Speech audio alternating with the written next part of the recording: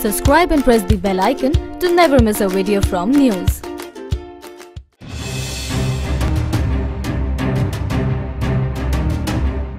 Defense Minister Nirmala Sitharaman issued a strong statement regarding constant ceasefire violation attack at the Indian Army Sunjuwan military camp in Jammu.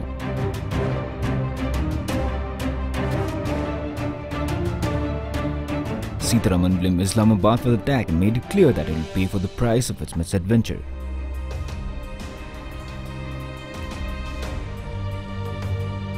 She asserted that even though role of Pakistan can be shared, India still reserved the right to respond adequately at the time of our choosing. Defense Minister further added that the terrorists who attacked Jammu army camp enjoyed some local support and handlers across the border. However, claiming that Indian statement was an attempt to divert attention from atrocities in Jammu and Kashmir, Pakistan said it rejected all allegations that are part of the Indian smear campaign.